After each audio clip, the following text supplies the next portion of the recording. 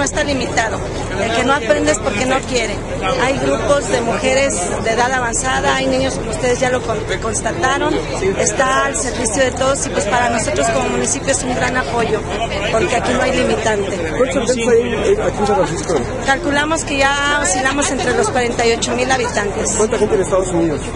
Mm, No tengo la cantidad exacta porque es muy flotante, van y vienen, no, no podría dar una Pero cantidad. vimos que usted va a servir para tener enlace. Ah, eso sí, fíjate que sí utilizan bastante el vagón este, para poderse comunicar, como lo comentó el gobernador. Hay casos donde ya no tenían ningún contacto y ahora por medio del internet se están comunicando con sus familiares. Gracias. Gracias. Gracias,